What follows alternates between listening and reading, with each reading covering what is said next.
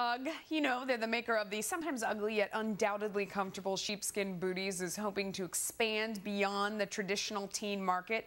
Company is launching a new ad campaign called This is UGG. featuring some pricey items and some impressive people to help diversify the brand. But how far can it stray away from its original boot roots? Brian is back with me now, along with my favorite marketing maven, Bruce Turkel. Bruce, what do you think of this? I think this is a perfect example of the company not wanting to put all their Uggs in one basket. Oh. I, mean, I know, sorry.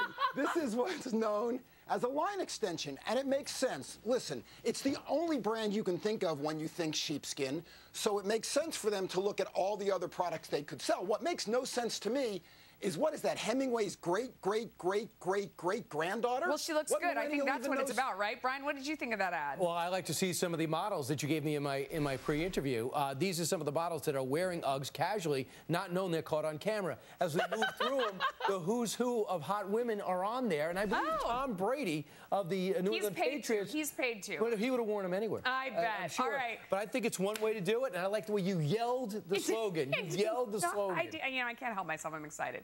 All right, SeaWorld looking to attract whale lovers back to their waters after poor earnings and bad press have sent shares sinking like a rock. The struggling company announcing it will build larger tanks and spend millions on killer whale research. Brian, do you feel better? Does it make you want to go to SeaWorld? I always liked SeaWorld. I had no idea about this whole blackfish thing that they did I don't this watch whole the thing. network that But having said that, on, yeah. they seem like happy killer whales when they were doing it. I mean, they were ambidextrous. They were very flexible. they throw tricks. They seemed to respond to the crowd. If Yeah. deeper pools and larger tanks could make killer whales happier than their name indicates, I'm all for it. Bruce, what do you think? I mean, they've got a real marketing uh, road to hoe here ahead of them.